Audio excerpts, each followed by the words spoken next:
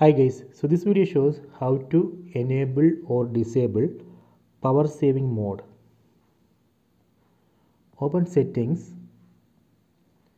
then tap on battery, then tap on battery saver. So here you can see the button to turn on power saving mode.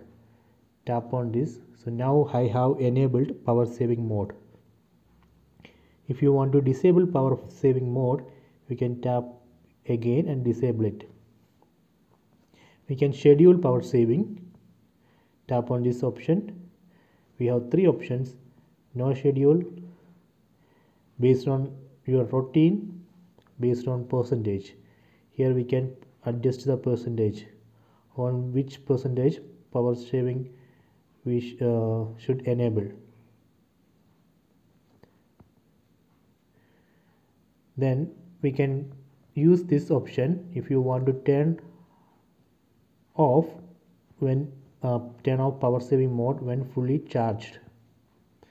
So this way we can enable or disable power saving mode. I hope you enjoy this video. Please subscribe my channel. Please like and share the video